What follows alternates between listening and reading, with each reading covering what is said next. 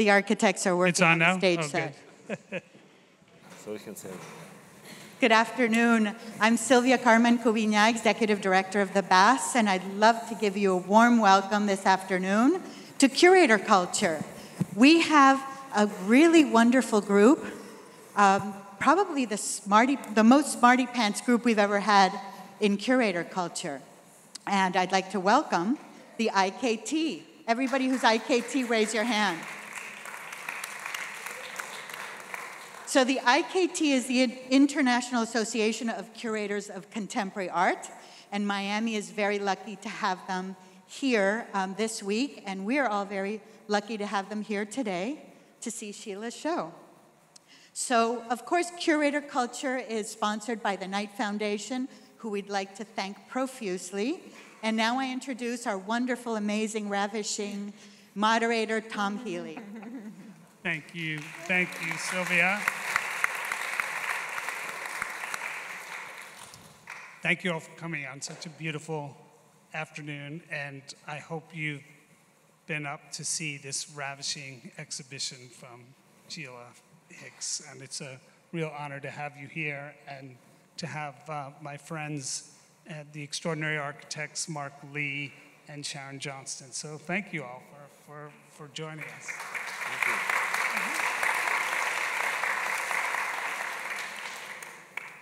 So I asked uh, for this group of people to come talk together because they have mutual interests in the intersections of art and, and architecture. And Mark and Sharon curated two years ago the Chicago uh, Architecture Biennial. And there was an artist that they wanted to include, but whose schedule was too busy because she was doing a big installation at the Venice Biennale at the same time, and that's, and that's Sheila Hicks. So I thought, well, we could bring them together today. And so, so welcome. Um, we were just talking in the back a little bit about, um, about some of the people that Sheila you met very early in, in your career after school in Mexico, Luis Barragan among many, but you also studied with architects at uh, Yale. And one of the things you said I wanted to see if you could start off with this was that one of the classes that was most engaging to you was going to the crits of Louis Kahn. Why, what was it about that that Did you guys go to Yale? uh, no, Harvard. Harvard? Okay. But we did meet with Vincent Scully, so Oh, you did? we did, yeah. He went up to Harvard? Uh, no, I heard a lecture of his at Yale. Oh, you came down to Yeah, Yale? yeah. Okay. Seldom the Harvard people came down to Yale. We had to go incognito. Gropius came incognito to visit Albers. I remember seeing him in the cafeteria. He didn't think anyone knew who he was. the Bauhaus characters. yeah, The question is, about going to those crits that Louis Kahn did Louis Kahn. architecture students? I, it- it's, um, most of my memories are connected to um, stories of chance, stories of, um, of, not of my planning or of my scheming, but of chance. And that is the Yale School of Art was annexed and next to the Yale School of um, Architecture on Chapel Street in New Haven. And the library was also there and used by both the architects and art students. And one day I got in the elevator and a man was in the elevator about my age and he spoke to me. I don't know, do you speak to people in the elevator? Uh, yeah. it's a long ride. Some, some cultures don't. In France, you know, France, we don't like speak to people in the elevator. Um, and this, this man struck up a conversation, and I could hear his Spanish accent. And he was, he had a Fulbright scholarship. He was an architecture student, and he was studying to get his um, master's in architecture at Yale. And Louis Kahn was his crit, was his teacher. Well, I was interested, always thinking, how could I sneak into these criticisms, these crits, where they held uh, weekly or twice monthly gatherings? And I thought the way to get in there would be to make friends with this guy. And he was cute. How the truth comes out. And he needed someone to help him build models. He was up against it. You know what, remember what it's like, how tedious? Mm-hmm. He was redesigning the city, the capital of Ceuta in Spain, on, in front of Morocco. And so he was looking for help, or maybe pretending. Um, and so, so I convinced another guy who was a painting, I was a painting student, and I convinced another guy who was a painting student, Ernest Boyer, from Dayton, Ohio, to come with me, not to get to go alone because we were all boys. There were very few women at the school then. Um, and we went up and we started helping this man build the model for Ceuta for his thesis, for his presentation. And Louis Kahn, whenever he was around, would hang out in that room with us, mm-hmm. in that room with the mm-hmm. five or six students. Jonathan Winter,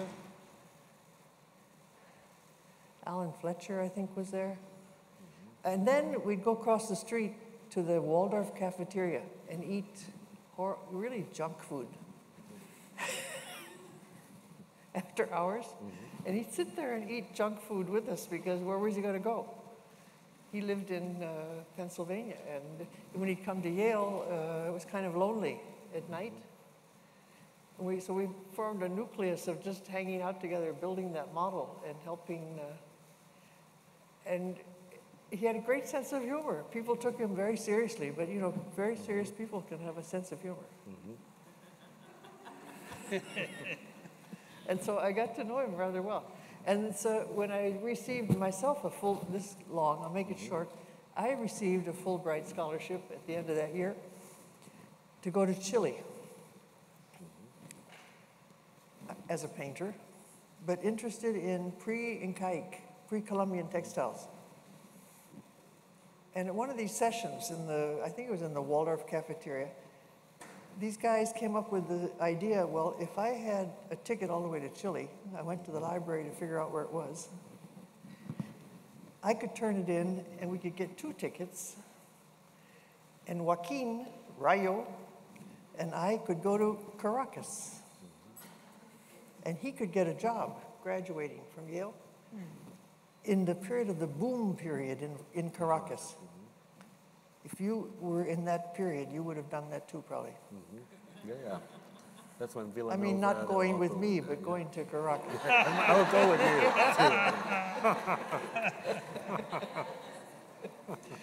And, he, and so we did. We turned in my ticket to Santiago, Chile, and we went.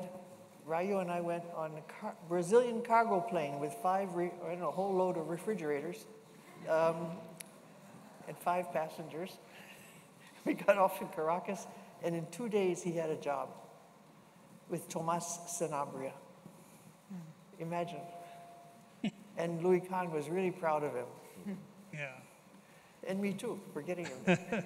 And that was quite a journey, it seems like, getting to Chile. You went through Venezuela, you went Well, then to I didn't have any uh, plane ticket. Ecuador. That was the end of my plane ticket. So then I had to be very clever about how I was going to get to Chile from Venezuela. So if there is the whole story. I think only the outlines of it. But Well, so, I think, you know, the, yeah. for those who uh, know Louis Kahn's work, one of his most important buildings is the uh, Salk Institute in um, La Jolla, California. And there was a famous story when uh, he was designing the, the, the, the plaza. He actually, the original design had trees there, it was a garden. But he invited Louis Barragan to come up to consult while, the, while it was under construction. And, and the story was that Louis Barragan told Louis Kahn, and said, Louis, you don't need a garden, you need a piazza, you need a facade for the sky. And, and, and I think this collaboration is always an interesting story. And, and Barragan is another character that Sheila you had contact and friendship with after Chile, huh? What do you want to know?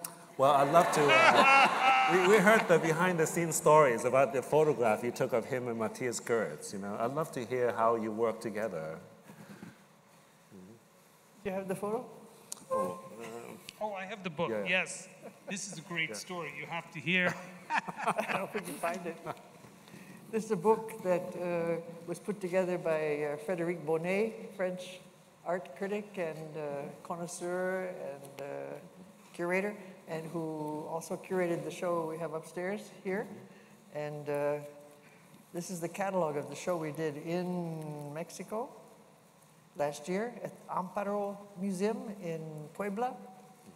Uh, and we invaded my archives and found a lot of old photographs. I used to photograph a lot.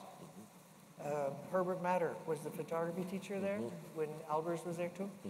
And so I had a Rollei, Rolly cord. I couldn't afford a Rolly Flex, but I had a Rolleicord with a square format. Uh, it was my best friend, my neighbor at all times. Protection too. Um, and after lunch one day, I took a photograph in the house of Luis Barragan, Calle, Hue- Calle Juarez in Mexico City, um, of these two men who were very close friends. In fact, Mathias introduced me to Luis Barragan, and I'd go there for lunch when I'd drive up from the ranch where I was living to teach in the uh, architecture school in Mexico City once in a while. These two guys, can you imagine, you're associates and working together for a long time?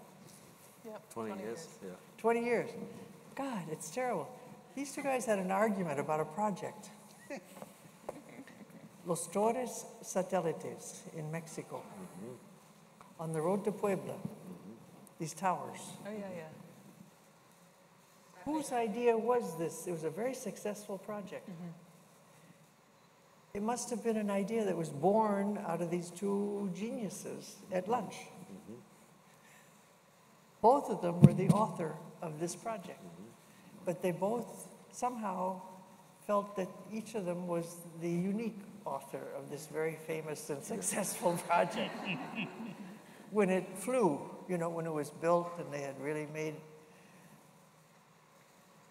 and so Mathias published in Europe extensively, very proudly about his project in Mexico.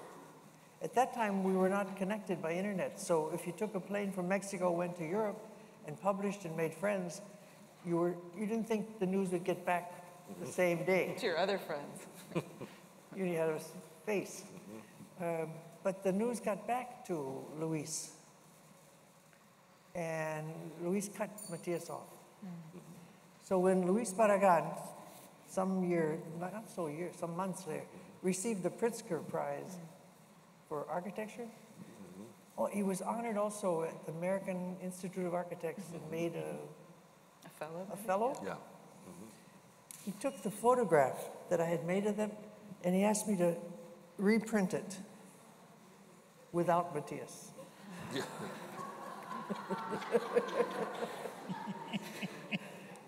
you know, to recrop it, re, which I did, and it became his favorite photograph, which he used for all of his promotions. But he just, you know, you can just like if you get divorced or whatever, Yeah. you can just Always cut it. He didn't just cut him off, he cut him out. right out of Sheila's photograph. terrible how you can just Just do that. just do that. So I want to ask you uh, another reason that I was interested in having you three together is Sheila's had an extraordinary career that's um, been on, I don't know if you've been to Antarctica, but other, every other continent and uh, hundreds of countries. And in part of that history, there's been this whole question of looking at tradition, uh, pre-Columbian histories and, and ancient techniques of, of fiber work and weaving things. And you did uh, this biennial in Chicago that was called Making New History. And one of the things you said, Sheila, in a conversation about that, that I found really quite wonderful was that in this modernist impulse to kind of obliterate history and only make things new, you, you both have had a practice and teaching that's been about engaging with history. And one thing you said that history is actually about future horizons. And I was hoping you could elaborate on what that means to engage with the past and what it means for, for architects making things new. You, you oh. Sharon, sorry. Yeah, I think, I mean, I, I think for us, the biennial um, was, you know, it was a pretty, it was a tremendous undertaking, but I think part of why we wanted to do that was to, um, to build a platform, to build a discourse among architects and artists, uh, because, you know, we, we feel that we, we, we also teach and have our practice, and the idea of bringing um, a large group of, of creative people together around a set of ideas is, is a way to do that, is a way to, you know, in, in, in the way that we all communicate and the sort of fastness with which things happen, the idea of literally coming together physically in a place to have exchange around ideas that we share, I think is an incredibly rare um, luxury. And so Mark and I took the project on, and I think, you know, it was particularly relevant to be doing in Chicago, a place where, you know, at least in our discipline, um, some of the, the most important sort of innovations in architecture and engineering had happened. So it was a place ripe for,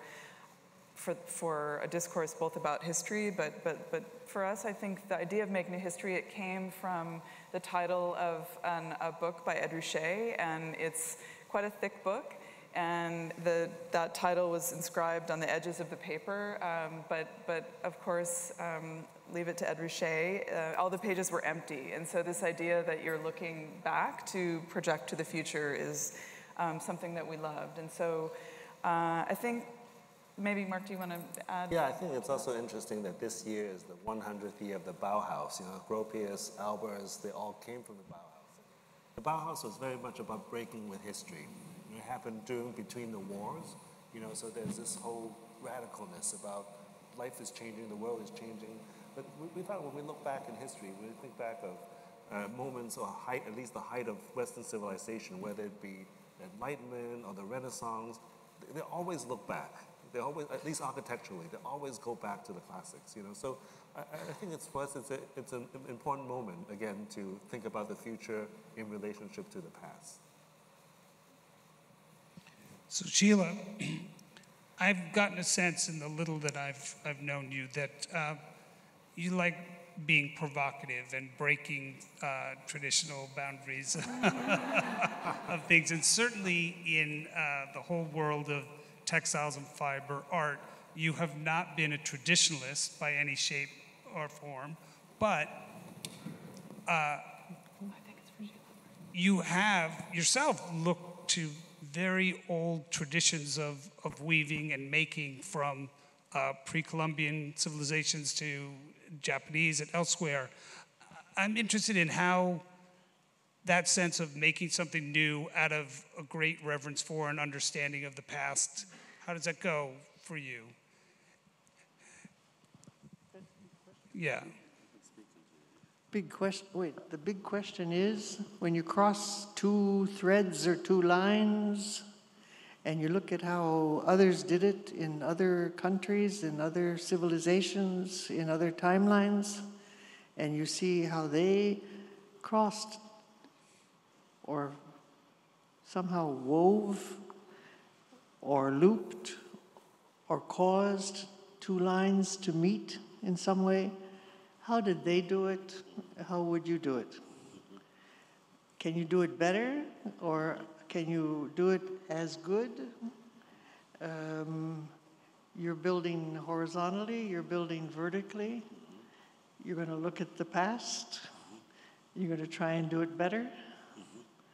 That's what I've been trying to do with, I can't face, I'm not up to the challenges of architecture like you are, but I can do it very modestly with threads and little constructions that start to move in space. So almost like little tiny architecture or sculpture. And then other people with big imaginations can help me to build it into a larger format. But then do I have the right to sign it? Because that was the discussion at lunch today. Mathias Goeritz, we were referring to. How is it that the architects sign these buildings when all they've done is on the tablecloth drawn some lines? We actually do not sign them anymore.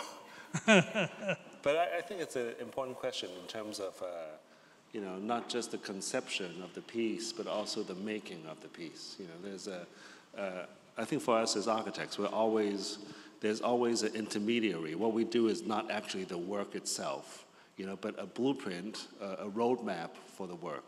You know, I think, I think this has to do with the question of scale. You know, I think sometimes the larger it is, the more intermediary steps one needs to take or more people needs to be involved to complete the work. I, I think that's one of the reasons I'm very fascinated by the, uh, the small pieces in the show with uh, the, your sketchbooks, you know, I, I understand you have a small loom and then sometimes instead of sketching, you would just weave something out, you know. And, and they are, understand their works on their own. Uh, they're not necessarily studies. Uh, sometimes they're, it has a kind of small immediacy, you know. Certainly, the larger, beautiful pieces, one can imagine the labor that it takes into it, and also the subsequent spatial effect it has. Like the biennial piece against the wall was so impactful with the two red pieces hanging on both sides and the, and the shadows of those pieces. But those small pieces has a certain um, immediacy about them and a certain intimate scale. I think when one sees it, you know, there's a certain size and it's just yourself and the piece. And I think that's something that is very uh, fascinating that, about that. I think in architect's work is perhaps that happens in a sketch, perhaps, you know. But so I want you both to elaborate on this a little if, and tell me if I'm wrong, but I have the sense that your architectural practice partly begins by you being investigators and anthropologists, that you really study a community, a city, and a site for a long period of time before you even start to sketch. And Mark, you talked uh, once about um, a book called Four Ecologies uh, of Los Angeles. And I know a lot of the curators here, their, their subject is about ecology, uh, resilience, and sustainability. So I wanted you to talk a little bit about what the ecology of a place means and, and how that shapes what you make. Well, you know, there's, there's the old adage that uh, all architects are formalists. They just have different ways of lying about it. You know? so, but uh, I, I, mean, I, I, think at the end, what we do, because there's so much money involved, there's so much, in a way, a certain permanence involved in what we do. So, in, uh, uh so there are a lot of contingencies. So we have, to, we have it's an imperative that we consider all these issues uh, about the ecology of the place not just of the moment, but what will happen 20, 30 years down the road. Uh, certainly, when we build in Europe, we plan the buildings to last for 100 years, where in the US, perhaps uh, you need a makeover in 20, 30 years, you know. But, but there are different temporal dimensions. And certainly, uh, a building relates to the making of a city, and the city has to, make, has to do with the making of a larger ecology of a region. So this is something that um, we always are engaged in, no matter what scale of the building we're working on. I think also maybe to elaborate on that, but to come back to Sheila's question about material and sort of there's both the research, the testing, the mock-ups, the sort of scale from the model to the mock-up of the building, but I think more and more, I mean, as we become in a way more alienated from, from the final object of the building, we're also trying to sort of get closer to people that build our buildings. Um, so, for example, we just finished uh, a small museum on the Menil campus. It's called the Menil Drawing Institute, and it's clad in uh, a kind of a cypress. So it's a wood, it comes from um, Washington State. And it seemed relevant the building would be made of wood. Renzo Piano's building was made of wood, but we needed to find a way to express um, this building and the intimacy of, of um, the works, the, works on paper. And so we spent quite a long time in this um, gentleman's studio in, in uh, Washington, gluing wood together, um, figuring out the, the dimension of the wood. Then we felt the texture was too slick. So much of architectural materials today are come in a very sort of commodified, panelized way. And so we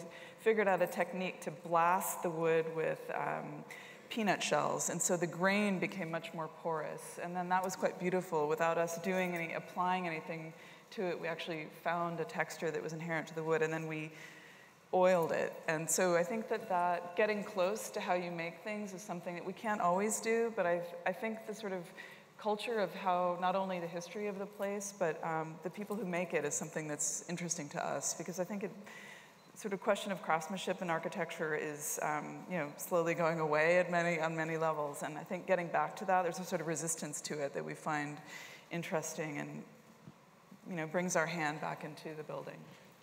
I found a wall around the corner here, before you go upstairs, mm-hmm. of this um, stone. Mm-hmm. This building is quite strange because it keeps changing as you move. It's maybe a few buildings, I guess. Um, but as you go around the corner here, I found a wall of this stone, mm-hmm. and of course, I'd been hanging for 10 days an exhibition in the exhibition spaces, which are beautifully finished, white, mm-hmm. perfect walls. But I kept migrating back to that little corner over there in the back of that stone wall. Mm-hmm. And that's my favorite place where I put my favorite work. Mm. And they said, You can't touch the stone wall. you can get close to it. How am I going to get it up? What would you do? You should just do it, I think. so, very clever Venezuelan craftsmen who work on Sylvia's staff here studied the problem and found ways to crawl up into the ceiling skylight in this kind of strange leftover space where these two buildings join here, these two, and they crawled up into the empty space where there's a skylight, meaning you had natural light pouring in, and found ways to hook in, not on the wall, but in the plaster. You'll see. I invite you to come and see how we managed. No, I, I was telling Sylvia when I first came in to see this, uh, that piece, I fell in love with it and that location. I said, This is perfect here. And she said, It's the first time we've ever put anything on the wall there. So, it's why is it your favorite piece? Why did I make it? You, said it's my favorite piece. It's my favorite piece because it, the, the, um, I think it has to do with um, fusion. I've been thinking about fusion for the last 24 hours. I woke up in the night thinking about fusion. I think fusion, it has to do with one thing playing off against another thing and not in an oppositional way, but in a way that complements and helps. One helps the other. And that the energy that comes from this meeting place is a kind of fusional powerful energy because it's a surprise element. I love it too. I was, I was just curious to see, yeah. Mm-hmm. So I want to ask you about making space by installing the work because we were talking in the one room upstairs where a version of the uh, piece from the Venice Biennale is there are two large, beautiful red pieces that shape the room and your experience of, of that. How, what goes into thinking about shaping the space of, of your installations that way? Here's a hot potato. My my, my gallerist, my gallery tells me, those aren't your work. You made those in a studio in Guatemala. You didn't weave those. A bunch of Guatemalans wove those. How are you going to sign those, and how am I going to sell them as your work in the art world today? I'm not the only one up against this. All the artists, I mean, the architects obviously, but all the artists are not making each and every inch of every work that they produce, and yet they have the gall to sign it and turn it over to a commercial enterprise to market it. Can I ask you how you feel about this? Because people even buy my work, have the nerve to die and leave it to their children, and they don't know what to do with it because it's a bunch of pieces or panels or uh, elements. And so, to be fair, they divide them up amongst all the cousins. And then someone needs some money and they go to a gallery and say, Can you, un, can I sell this? And it's a Sheila Hicks weaving. And you look at it and you say, We got to get a certificate of authenticity. Do you have to deliver certificates of authenticity to your work? Haven't had to yet. Well, there's one piece that you've you've made the shift with uh, the piece that you first designed, uh, built, made for the uh, Target headquarters, and then it was gifted to a museum, I think, in North Carolina, South Carolina, and you made it into a five-story uh, vertical piece instead. What was that experience like of remaking a work for a different? I do that all the time. Right. In fact, the man who helped me do that is here. Where is he? Enrico.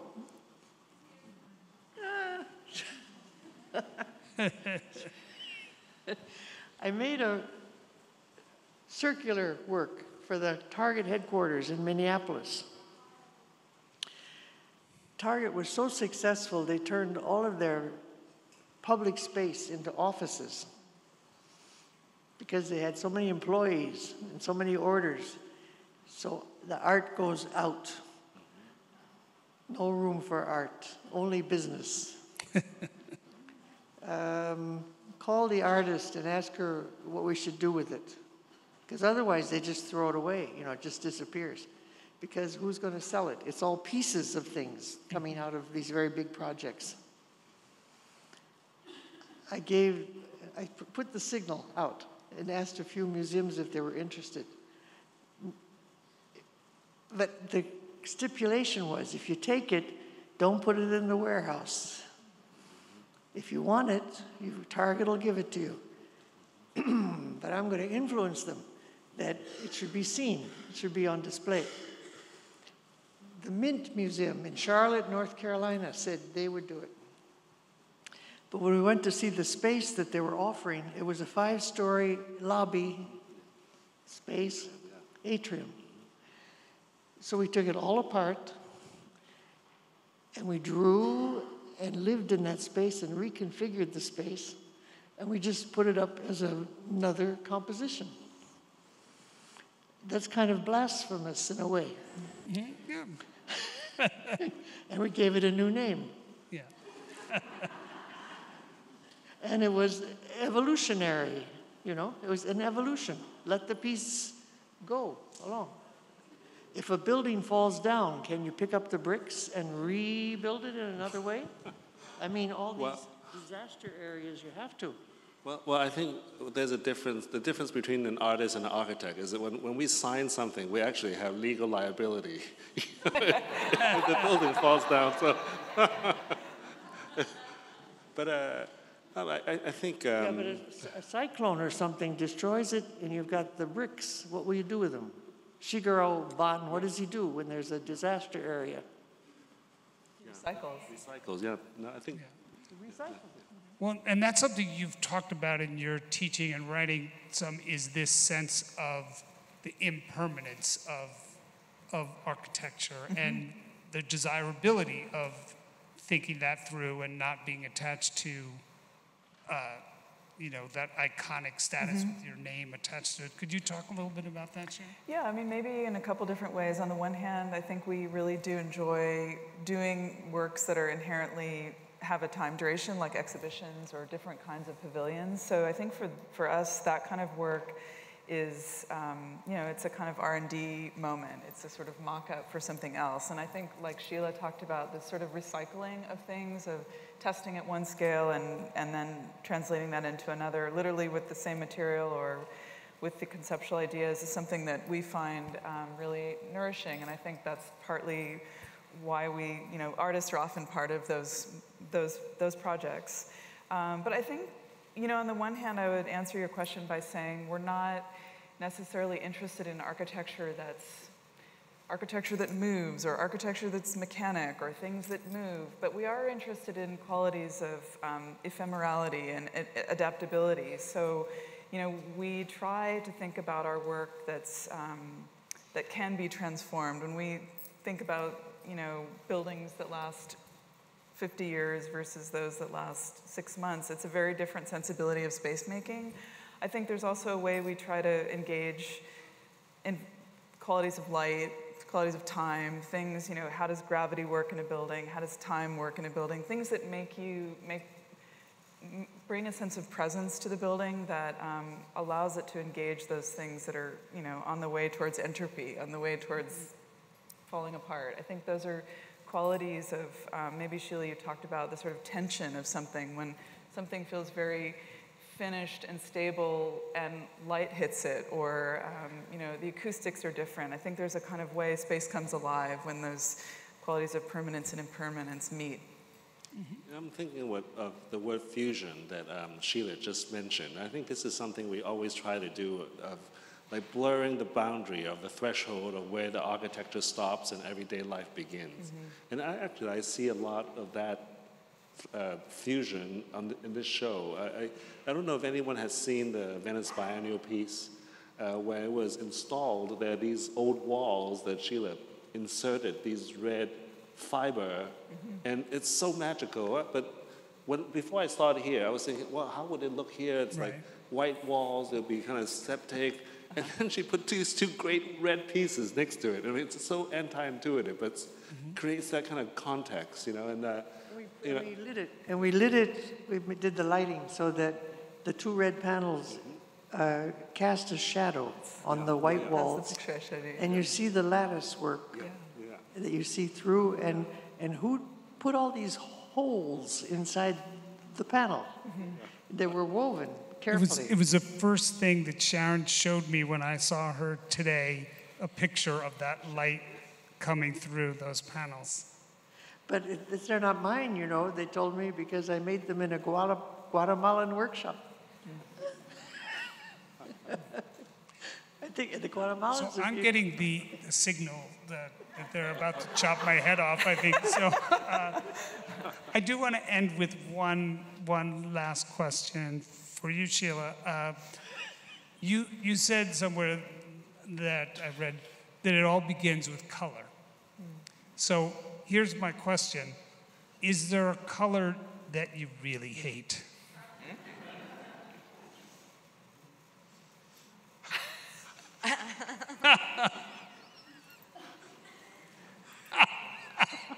Okay. good. She's just pointing and not saying. So we're, not, we're all We're the good. clear. We're all good. I don't so, want to go on record. so we're going to uh, open up to questions now. Uh, Kylie has a mic, and, and there's another mic here. So just raise your hand, and they'll bring a mic over to you and uh, ask a question. Yes, sure. Yes, I didn't know it was my turn. Uh, thank you very much for, for uh, the Enlightenment panel discussion. I have a totally different question, and I, I would like to talk about, I would like to ask you, Mrs. Hicks, about the relationship between textile and gender. And one of your teachers was Anni Albers. She was at Bauhaus. Bauhaus uh, is supposed to be a very innovative school where, uh, as you know, the female pupils had to pay more than the male pupils, and they were kind of forced by Gropius into the textile department. They were really forced into that department, and they did great jobs. And I discovered that Mondrian, the famous Dutch painter, was influenced by abstract textiles from the 19th century. And I believe there is a, a, a, connection between the invention of abstraction and textile workers. And I wonder how you, uh, did you ever, uh, I mean, uh, it, it, sorry to, to be speaking so long since we have so short time, but I wonder, could you say something about this relationship between abstraction and gender and, and textile? Because you, in your work, you, you, you, you take the grid, you take this abstraction, which goes back for centuries in many, many cultures. And it's, it's, as, it's as if only European and, Af and America can have invented modernity. But I think modernity has, is going way back, and you show it in your work.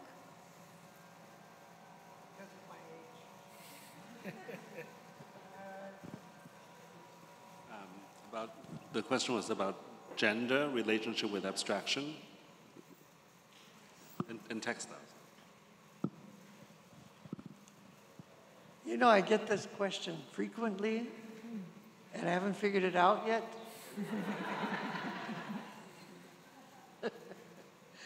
Are you European? It's a very prevalent question. Are you German? Dutch? Yeah, I thought so. Yeah.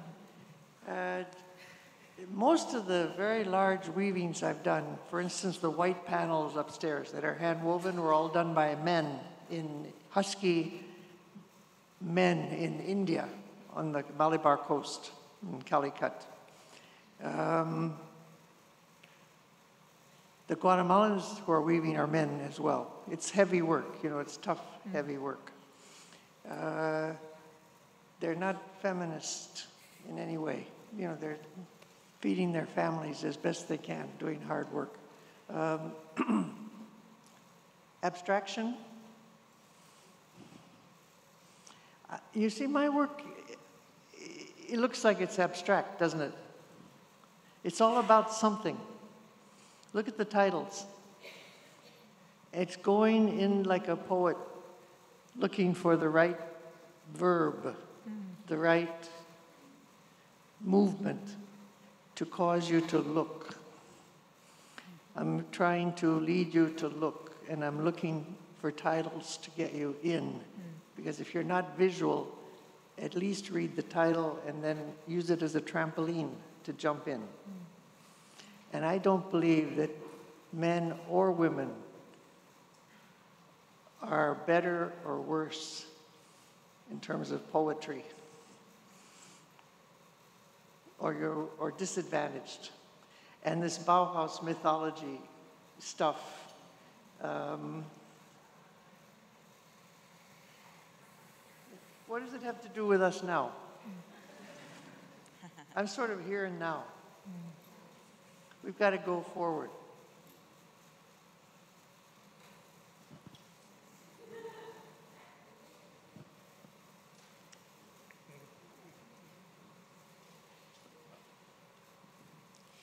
Sheila, you were talking today about Mathias, conversations with Mathias.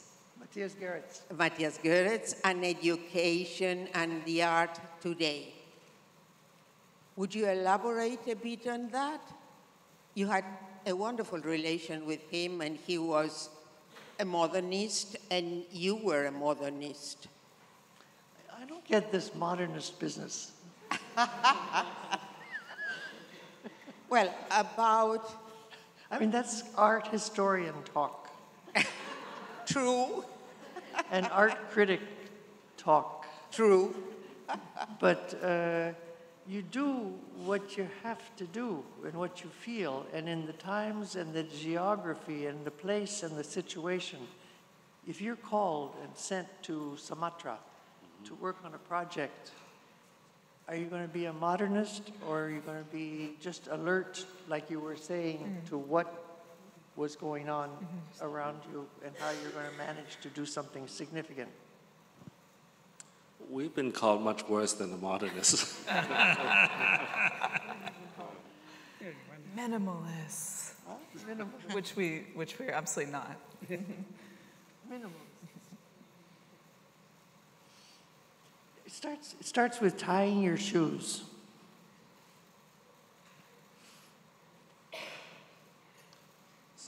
what did you say? I didn't get it. Let's start with tying your shoes. We're tied, we tied up. Yeah, we have this shoe tied over here. Look at that. Another question? Look how they tied their shoes.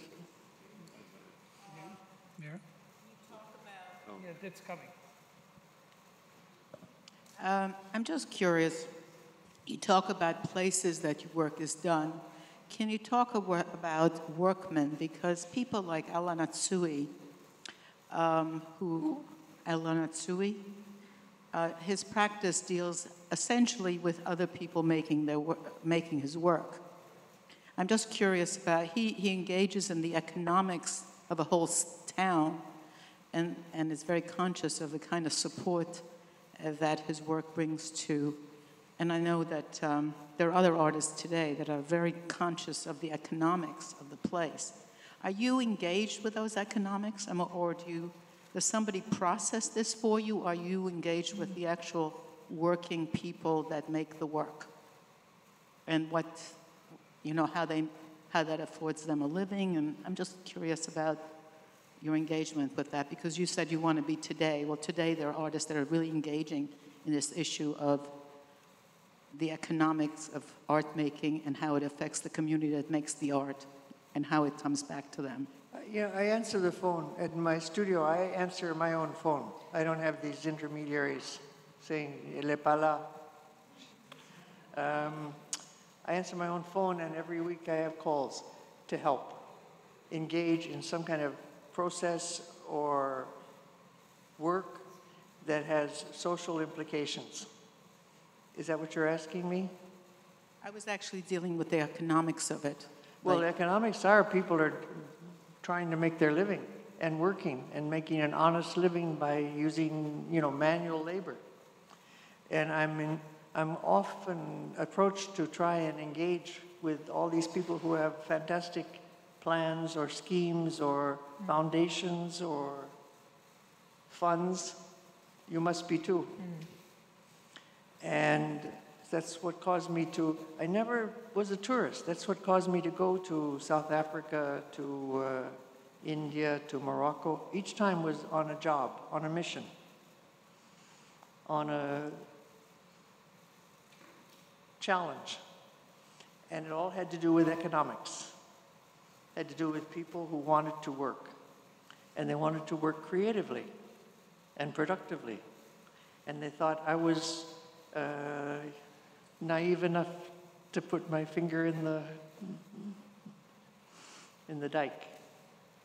see, like in the 80s, someone like John Ahearn would um, actually, the model, the model, he, he- he would have two, uh, he would have three sculptures made, three editions. One he kept as the artist, one he gave to the model, and the other he sold. Uh, and All of the uh, projects that I've done in places like India and Morocco, um, you saw the very large prayer rug upstairs, the Moroccan prayer rug. Did you see a signature? No signature. They made as many as they wanted to make. I made a model, I made models.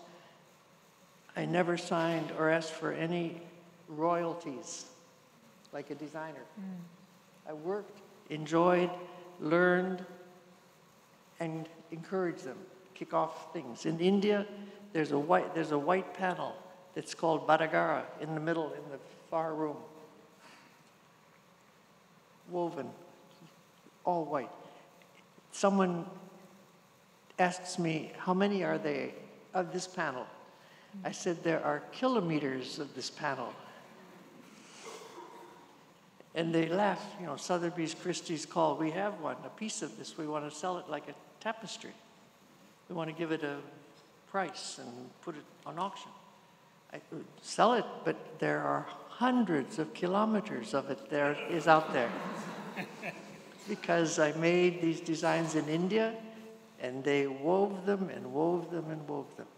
I'm so pleased someone bought this piece, so- some English gallery, Alison Jacques, your boss, bought this where? And washed it and cleaned it. And she said it cost her a lot to get it in shape. and then put it in the fair, which is called where? Miami Basel. there it was hanging on the wall in the Miami Basel Art Fair. And bought it, right? And she's trying to sell it. Take a look upstairs. But Sheila, do you work with the same mills and, and the same craftsmen again and again? Like, do you go to India for certain projects and Mexico for others? I'm others? getting or- old. but I did You did. for many years, yeah. Mm-hmm. I think That's what. And I do, a- you know, I'm Here comes the mic. Um, I think that your weavings show a great connection between material and color and light. And I'd love to know how you think about material in a way that creates light. texture, texture, texture, texture. fusion. Huh? Fusion, energy. Get material like texture, color, light. Huh? You get an fusion going and you get energy. And it's not only energy there, it's giving you energy.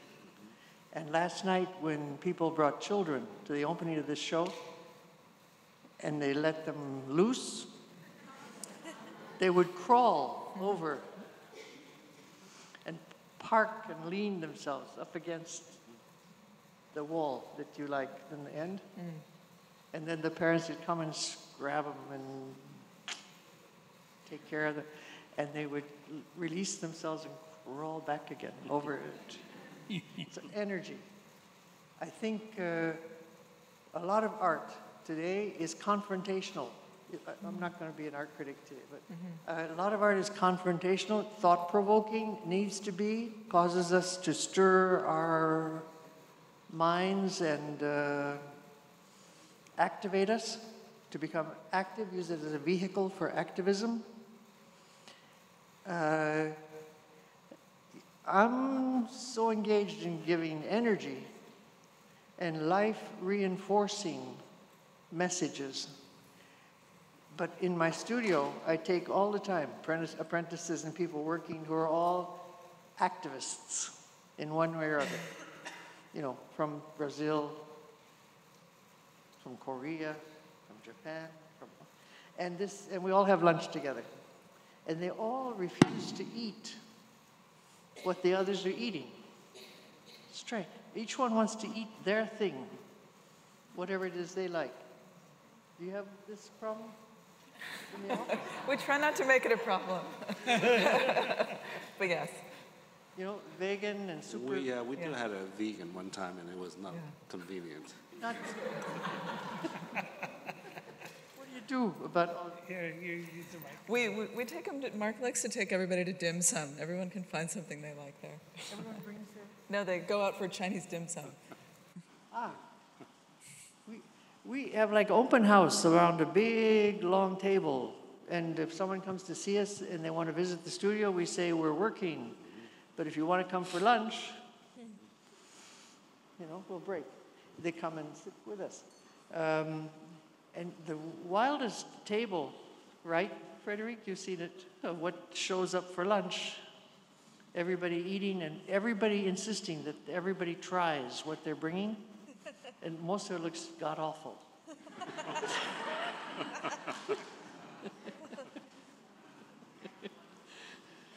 Uh, Thank you all. Uh, Just a quick question love to hear you talk a little bit about Escalade Beyond Chromatic Lands because it's so beautiful and magical. The artwork, the big artwork, the big wall. Escalade Beyond Chromatic Lands. Just to talk about The it. Venice, the Venice piece, huh? Yeah. What's the question? Just to talk about it. It's wonderful. Why don't you just go up and see it?